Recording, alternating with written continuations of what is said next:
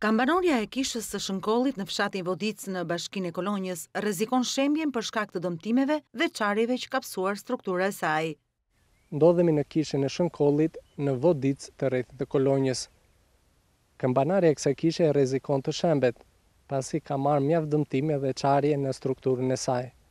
Kjo kishë mban edhe statusin e Monumentit të Kulturës, por prej vitesh këtu nuk është kryer asnjë ndërhyrje. Kisha sipas banorëve daton që në shekullin e tetëmbëdhjetë. Ajo është mjaft e frekuentuar nga besimtarët, veçanërisht gjatë festave fetare. Sipas kujdestarit të kishës, ky objekt kulti mban statusin e monumentit të kulturës, por pavarësisht kërkesave deri tani nuk është kryer asnjë ndërhyrje për mirëmbajtjen e saj. Kërkesat janë bërë nëpërmjet përfaqësuesit të të Monumenteve të Kulturës, Ersek Raqi Binjakut. Deri tashi nuk kemi parë ndonjë diçka të bëhet apo të realizohet.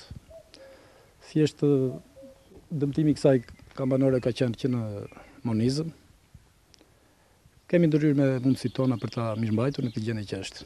Emergjenca kryesore është ndërtimi i i i kupolës këtu përpara hyrjes së kishës, pasi këmbëza nga krahu i majtë kur futemi është shumë e dëmtuar.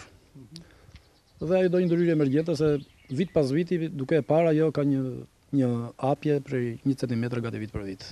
Statusi si monument kulture sipas kryeplakut të fshatit Vodicë pengon edhe banorët të kryejnë ndërhyrje për mirëmbajtjen e kishës, ndërkohë që situata kërkon zgjidhje të menjëhershme.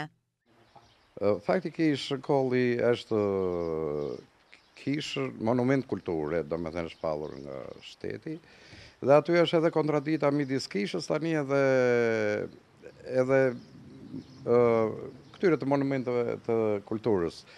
Ata nuk të lejojnë që të bësh ndërhyrje, dhe nuk vetë nuk bëjnë ndërhyrje. Ju mbase e patë dhe vetë që ajo kambanorja është gati për t'u shembur. Një tjetër problem është lagështia në disa pjesë të kishës, e cila ka qenë edhe shkak i prishjes së pikturave murale.